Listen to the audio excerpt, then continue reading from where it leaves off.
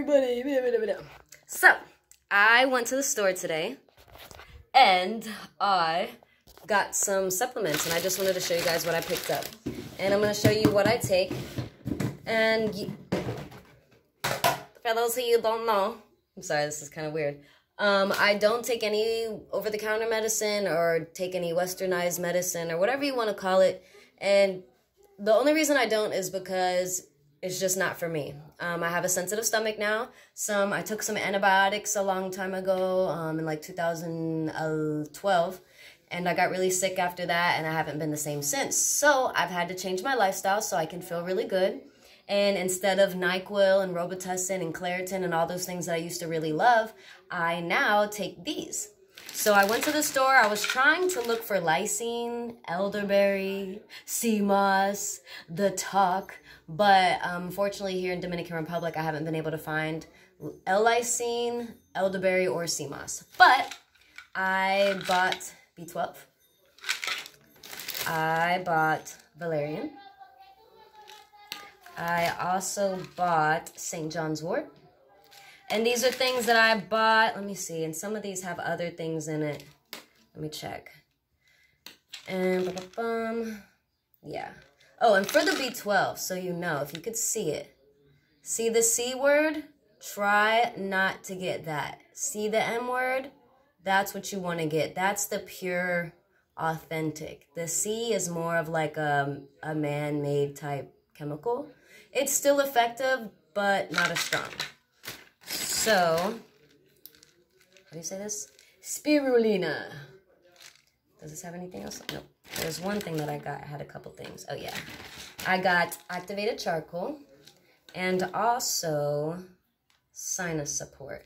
Now, the sinus support has in it nettle, eyebright, horseradish, elderflower, which is probably the closest thing to elderberry that I might have been able to get. And this is sinus support. So, you can call it holistic or whatever. It's cool. So what I have previously, this is my medicine cabinet. I don't have, like I said, I don't do the NyQuil, Robitussin, or anything. I'm just going to show you some other things I have just so you can see what I get into. And these are things that I take for my personal body and my personal needs. This is not going to be for anybody. This one is not really effective. I don't know. My body never muscle tests for that one for some reason. Um, multivitamin for women, omega, these for everybody, yes. Um, this can be for everybody, yes. But if you ever had like maybe Lyme disease or mold issues, these are things that more than like you should be taking. Kelp. Um, I had a probiotic, it's gone now. Magnesium apple cider vinegar, which actually has in the pill some other cool things. There's the kelp already in there, some things you could see. So sometimes you have to, oh, I got some more of that. And these are things that I had in the past that are probably not good anymore.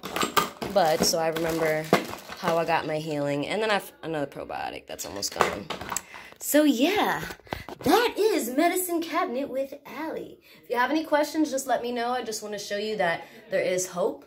If you are sick, if you're having problems, there are ways to feel good. And this is how I personally feel good. And I, on top of that, I also had to change the way I eat to just natural foods. Anything that's fresh, grown out the ground, less things in a box and bags.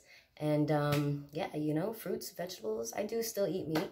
And um, I love you. If you have any questions, let me know. You can be free. You can be healthy. You can love your life. You don't have to be in pain. And if you are in pain, it's not normal. You can get it fixed. There's chiropractor, acupuncture, nutrition, and the way you eat is the is is it. That's really it. It sounds simple, right? It, it really is. But I'm hoping to show the world and teach people, you know, these things. And, and if they work for you, let me know. If you need help, if you have any questions, ask. We will find an answer to your problem, to your pain, whatever you're hurting.